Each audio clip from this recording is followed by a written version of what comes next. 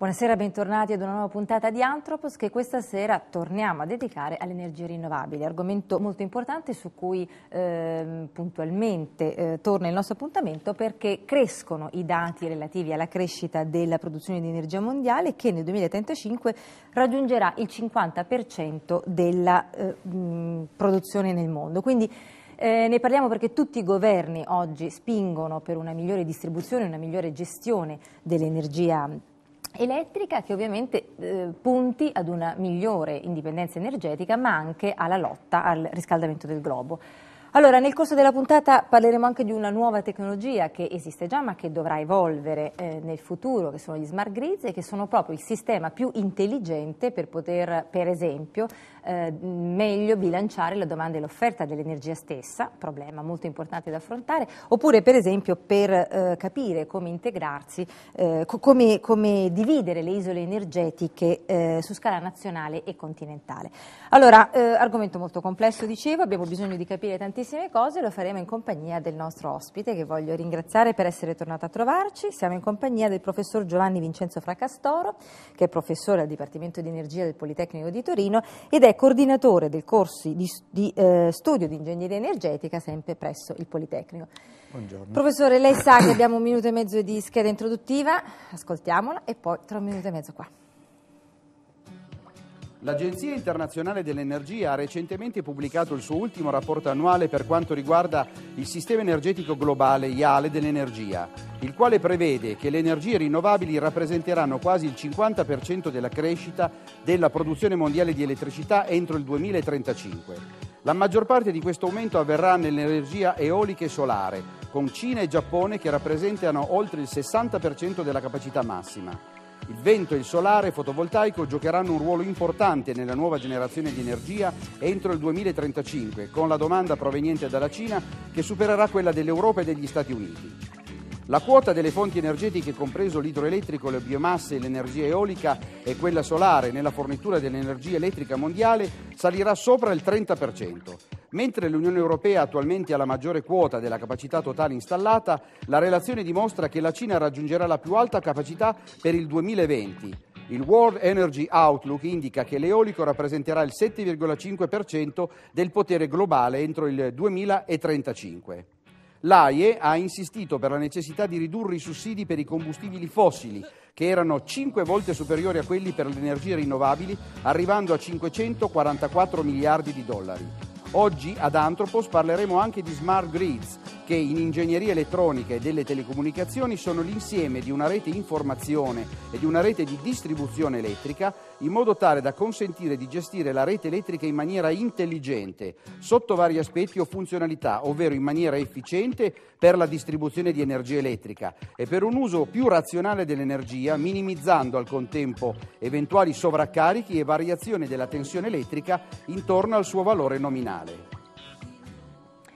Bene, grazie a Giorgio De Feria per la sua scheda introduttiva. Allora, professore, torniamo, dicevamo, a parlare di ehm, energie rinnovabili. Io in apertura parlavo di questa eh, crescita del 50% dei consumi di energia, che però forse mi diceva sono europei, quelli di cui stiamo parlando, come crescita. Le rinnovabili ecco, copriranno forse il 50%. Forse il 50%. allora, torniamo a fare una classifica di queste, allo stato attuale, soprattutto per capire quali sono quelle che più potranno garantirci un minore inquinamento e, la, eh, e anche diciamo, un contenimento dei costi. Torniamo a fare una classifica. Ok, allora se vogliamo vedere le fonti rinnovabili in, modo, in una prospettiva storica, ci sono da sempre le fonti rinnovabili, quindi ci sono quelle antiche come la biomassa, quando abbiamo cominciato certo. a bruciare legna, e quelle eh, semi-antiche come l'idroelettrico che esiste già da più di cento anni, il geotermoelettrico, e quelle invece decisamente nuove come l'eolico e il fotovoltaico. Allora in questo momento a livello mondiale eh, si cita un 20% di copertura eh, da parte di tutte le fonti rinnovabili, ma solo metà di questo è legato alle nuove fonti rinnovabili, mm. cioè l'eolico e il fotovoltaico, che sono quelle che hanno avuto lo sviluppo più Migliore, recente certo. e più forte e direi che sono anche quelle che in prospettiva occuperanno il ruolo più importante perché l'idroelettrico oramai abbiamo raschiato il fondo del barile in Italia per esempio e nella maggior parte dei paesi sviluppati, rimangono certo. grandi risorse che sono in Sud America, in Africa, sperando che non facciano troppe devastazioni per sfruttare l'idroelettrico. Le biomasse in prospettiva verranno abbandonate perché sono una grossa fonte di energia dei paesi estremamente in via di sviluppo e verranno abbandonate non appena ci sarà qualcosa di altrettanto economico e eh, disponibile eh, a disposizione di queste popolazioni.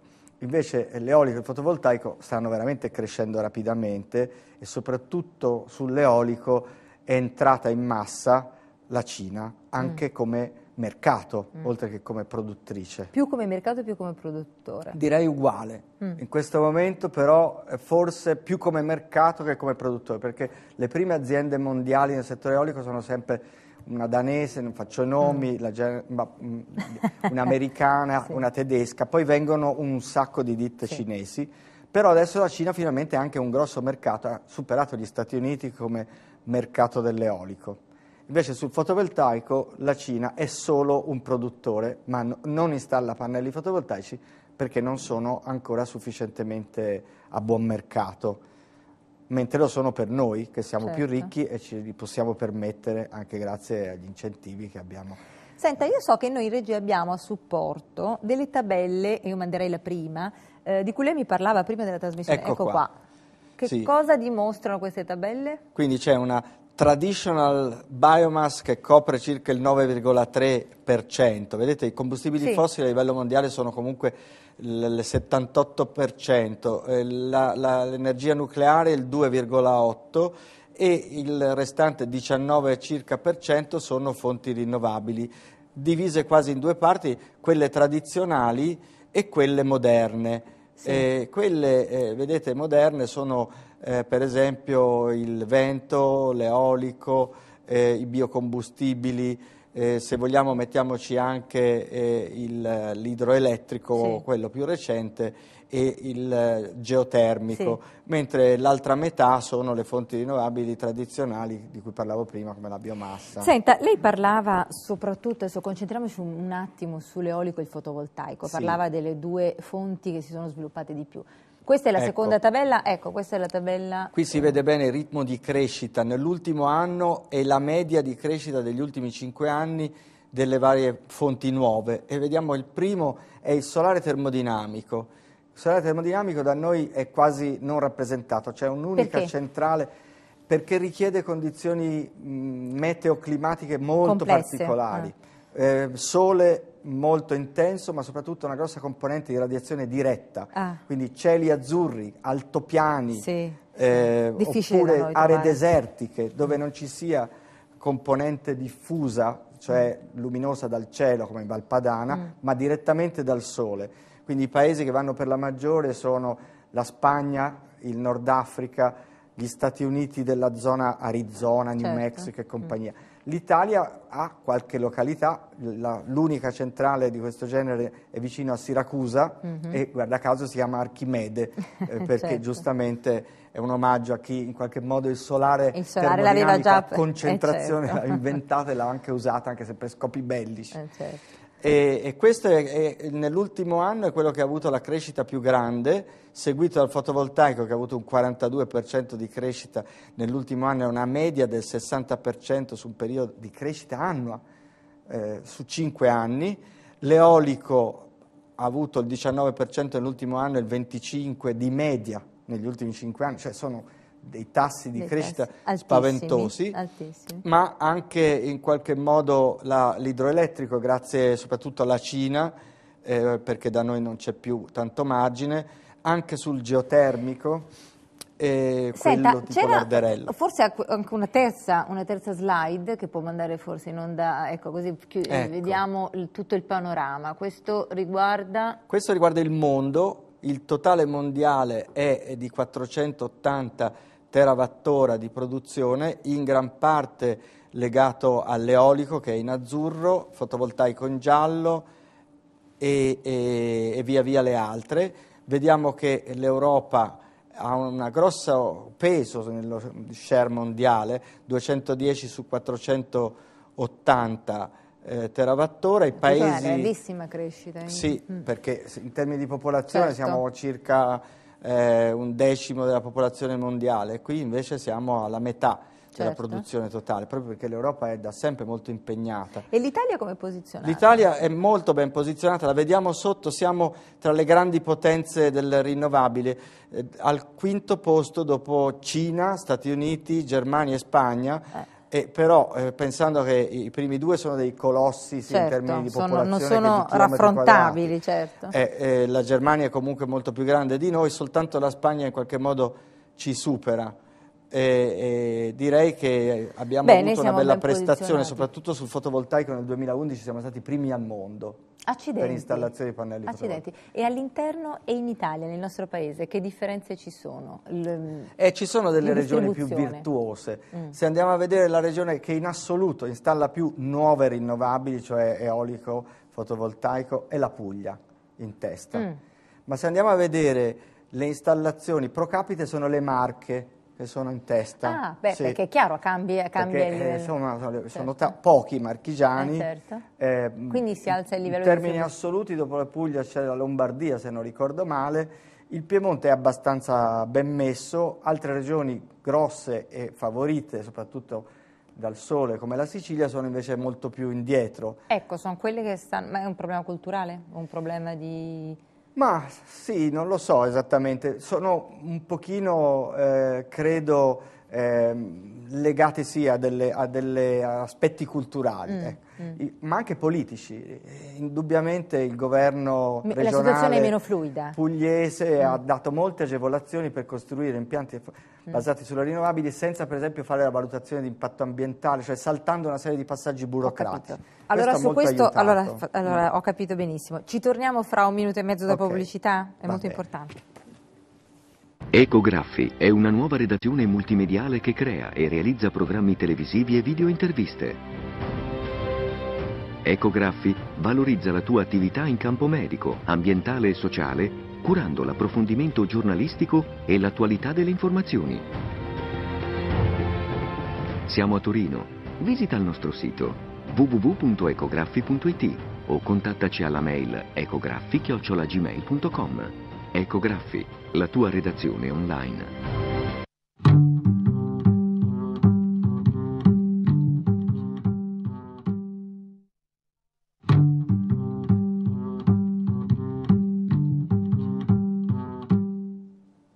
Bentornati in studio, siamo in compagnia del professore Fracastoro, stavamo parlando delle rinnovabili. Eh, professore, io in apertura di questo blocco vorrei, eh, effettivamente aveva ragione Giorgio che è qui in studio con noi, affrontare subito, anzi dirlo quasi in, eh, come cappello introduttivo, che alla base di qualunque eh, sviluppo di fonte eh, rinnovabile o meno esiste il esiste la fonte del risparmio. Esatto. Questo, mm, una fonte virtuale ma molto concreta in Molto realtà. concreta. Cioè è meglio un kilowattora in meno sì. che qualunque altro tipo di kilowattora. Ma la cultura però è cambiata e il- la cultura del risparmio oh, si sta diffondendo. Sì, In che per percentuale necessità. incide? Anche per necessità. In che percentuale incide? Beh, in questo momento i nostri consumi energetici, per esempio in Italia, sono ritornati al livello di 10-15 anni fa. Ah, Eh. quindi è un buon Eh, risultato. ma purtroppo penso più per necessità che per virtù, perché le industrie Ah. sono ferme, perché No, è, anche un po', è cambiata un po' la È cultura. cambiata però. la mentalità, eh, indubbiamente. E pensiamo a tutte le iniziative, per esempio, dei sussidi a chi cambia i Certo, vetri certo. o isola le finestre e così via. La possibilità o di scarichi tetto, eccetera. fiscali, Ci certo. sono dei bellissimi incentivi che permettono di rendere co- competitive queste tecnologie che non lo sarebbero tanto, Certo. convenienti insomma. Certo. E quindi questo Senta, ecco, in chiusura, prima della pubblicità parlavamo, eh, ci siamo concentrati sulle fonti eolico e ehm, eh, fotovoltaico. Eh, fino a, mi corregga, 5-10 anni fa forse, quando si parlava di queste fonti c'erano molti pregiudizi, cioè si diceva non saranno una, una reale alternativa, non riusciranno mai a diventare una reale alternativa e forse non è così, sono, sono diventato, eh, sono No. diventati, ma lì si parlava di due problemi soprattutto, uno il problema dei costi che non avrebbe aiutato eh, lo sviluppo. E l'altro, la, la forte perplessità era sull'uso indiscriminato che si può fare dei territori Certo. Per eh, soprattutto il fotovoltaico? Erano vere entrambe le cose mm. e entrambe le cose si sono corrette in parte da sé, in parte per interventi legislativi. Quindi il problema dei costi era duplice, costavano molto e richiedevano degli incentivi che poi noi ci ritrovavamo sulla bolletta perché gli esatto. incentivi non li ha messi lo Stato, li abbiamo messi noi mm. consumatori sulla esatto. bolletta elettrica, cioè abbiamo una voce sussidi alle rinnovabili. E eh, il problema dei costi si è risolto perché eh, adesso gli incentivi praticamente non ci sono più, ma i costi si sono ridotti di un terzo. Perché? Perché sono arrivati la marea dei pannelli mm. fotovoltaici made in China, mm. che inizialmente avevano delle prestazioni scadentissime mm. e adesso invece, anche grazie alle tecnologie europee e americane esportate chiavi in mano negli mm. stabilimenti cinesi, adesso sono prodotti affidabili come gli altri. Mm. Dispiace un pochino per le, tutte le aziende europee che sono state mm. messe fuori mercato, come sapete certo. c'è stato anche un processo per dumping eh, concorrenza mm. sleale fatto dagli Stati Uniti ai cinesi che ha portato a in qualche modo contingentare certo. le importazioni, però il risultato per l'utente finale è che, ha battuto i costi del veramente mercato. i prezzi sono scesi di 10 volte nel giro di 10 anni. Mm. Cosa che è accaduta anche in altri mercati. È, è cresciuta. Eh. Anche sull'eolico, anche se senza queste grosse differenze, i prezzi sono stabili o in lieve diminuzione. Quindi l'aspetto economico, la riduzione degli incentivi, è stato, costo, è stato molto utile l'incentivo perché ha permesso di in qualche modo ridurre i prezzi. L'altro aspetto, quello dell'impatto ambientale, cioè l'occupazione di suolo, è connaturato in qualche modo alle fonti rinnovabili. Perché? Perché le fonti rinnovabili hanno una bassa densità di energia, quindi per catturarne grandi quantità ci vogliono ettari di pannelli fotovoltaici e, e grandissime turbine eoliche. Pensate che l'area spazzata da una turbina eolica è uguale a quella di due campi da calcio. Certo. Eh? Sono delle cose enormi.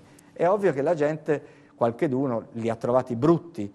Trovarseli sulla cresta delle, delle montagne dell'Appennino non è Beh, piacevole. Forse anche perché c'è stato un po' una, una corsa indiscriminata C'è stata una speculazione. Di... Mm. Venivano i fondi di investimento cioè, stranieri orto, a, certo a investire punto. sul fotovoltaico italiano perché ti garantiva dei, degli, mm. dei ritorni di interessi dell'ordine del 15% eh, all'anno e quando certo. mai eh, lo trovi una roba del genere. Poi sono stati proibiti, in Piemonte da due o tre anni i pannelli fotovoltaici non si possono più mettere sui campi, abbiamo tanti tetti, usiamo i tetti, no? certo. è molto semplice. Eh, quello che è rimasto del, dell'aspetto critico delle rinnovabili, non serviranno mai, mm. eccetera, continua un po' a sussistere, non è più vero, nel senso che le rinnovabili adesso coprono in, Euro in Italia quasi il 30% di tutta la domanda elettrica, ma non possiamo negare che non è la stessa cosa dell'idroelettrico, mm. il fotovoltaico e, e l'eolico, perché se non tira vento e non c'è sole non si produce energia. Lei mi parlava della necessità di costruire impianti di riserva. Eh certo, perché in questo momento il, ovviamente con tutto il fotovoltaico che si è installato se c'è sole come oggi per esempio su tutta Italia, un terzo circa della domanda di energia elettrica può essere soddisfatta solo certo, dal fotovoltaico. Certo. Ma se piove? Nelle ore centrali della giornata. Ma se piove ci vuole qualcheduno che produca che la stessa quantità di energia in qualche altro modo. Costano tantissimo questi impianti di riserva? Diciamo, non sono impianti costosi, però avere un impianto che invece di funzionare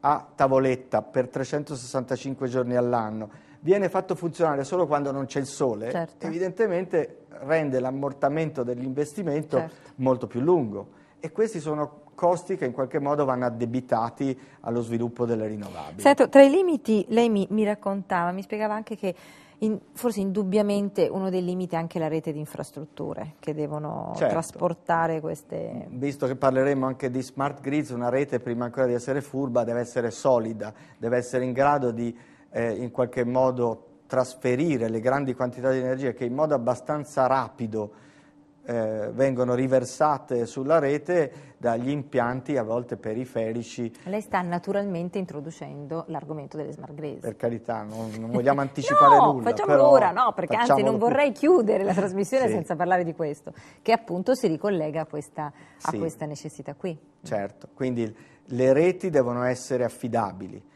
se l'infrastruttura non è adeguata, prima di tutto bisogna renderla più affidabile, più solida. Cioè non basta produrre tanto, no, perché poi bisogna, bisogna anche trasportare in modo efficiente, altrimenti si rischia come qualche anno fa di buttare via il 25-30% dell'energia eolica prodotta perché la rete non è in grado di trasferirla.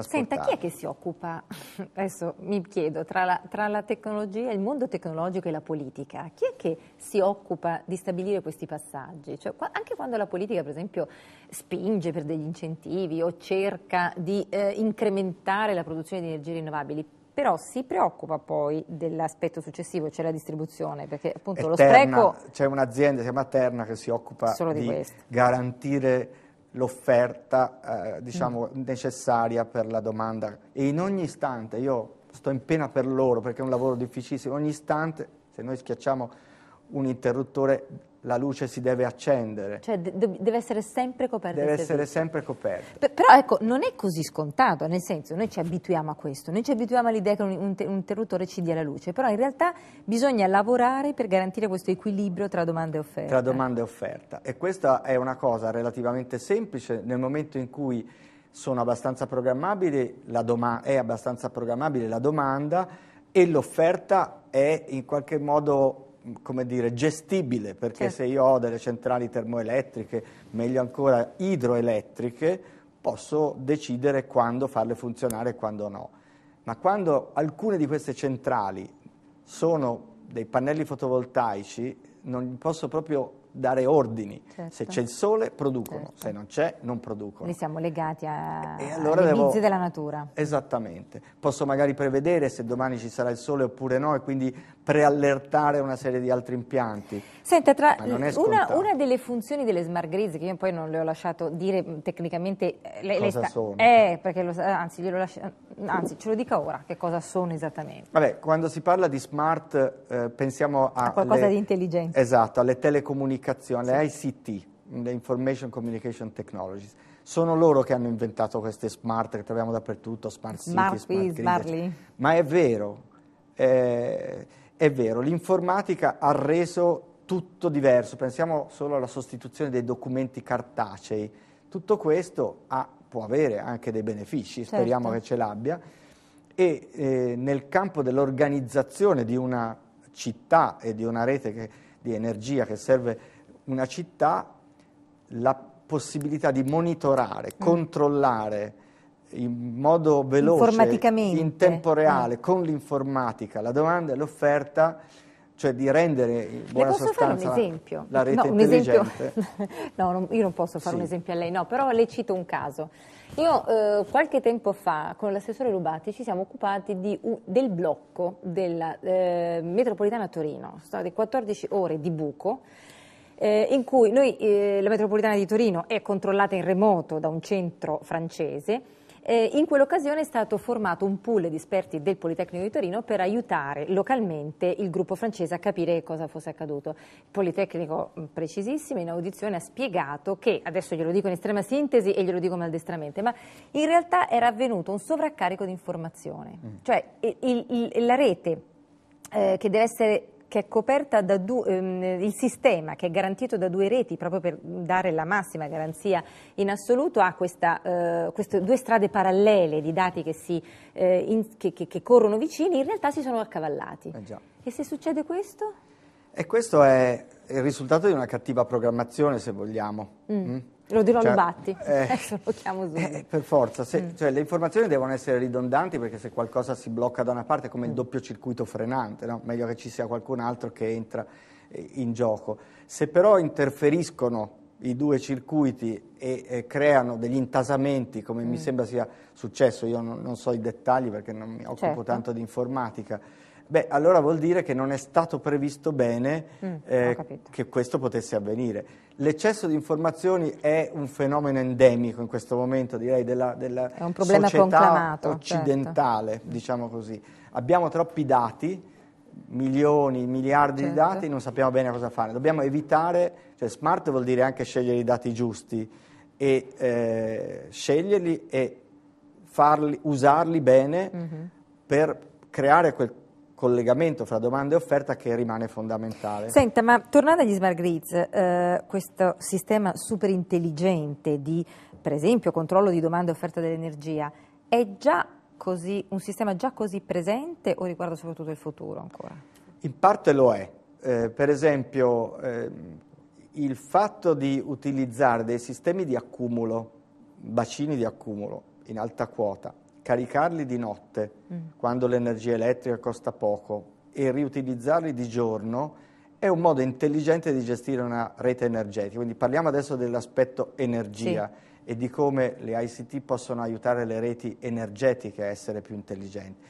Uno dei modi per fare tornare meglio domanda e offerta è quello di accumularla nei momenti in mm. cui c'è sovrapproduzione rispetto alla domanda. Certo. Quindi l'uso dei bacini di accumulo o, perché no, degli accumuli termici che usa la rete di teleriscaldamento mm. torinese è ovviamente anche quello uno degli strumenti delle smart grid che permettono di rendere sempre più compatibili domanda e offerta. Ma io direi che il compito principale mm. delle reti energetiche smart è quello di utilizzare tutte le fonti rinnovabili sì. senza sprecare energia e soddisfacendo sempre la domanda. E questo è un compito veramente difficile che solo le ICT ci possono aiutare a portare a termine. Grazie professore, lei ha dato la chiusura migliore alla trasmissione, perché io è da due minuti che mi fanno segno che abbiamo sforato pesantemente, però eh, la ringrazio perché in realtà ha sintetizzato quello che non avrei saputo fare. Eh, sente, il tempo era poco a disposizione, l'argomento è molto molto um, vasto, noi ogni tanto ci troviamo ad affrontarlo. Torna presto a parlarne, me lo promette? Eh? Magari con un esperto di ICT a cui ho fatto un assist favoloso. Magari un esperto e ne facciamo due puntate di seguito. okay? La ringrazio moltissimo per essere, stato, per essere sempre così disponibile e in bocca al lupo per il suo lavoro. Ovviamente a tutti voi che ci avete seguito io do il mio ringraziamento, il mio buonasera e come di consueto passo la parola a Giorgio De Feria. Buonasera.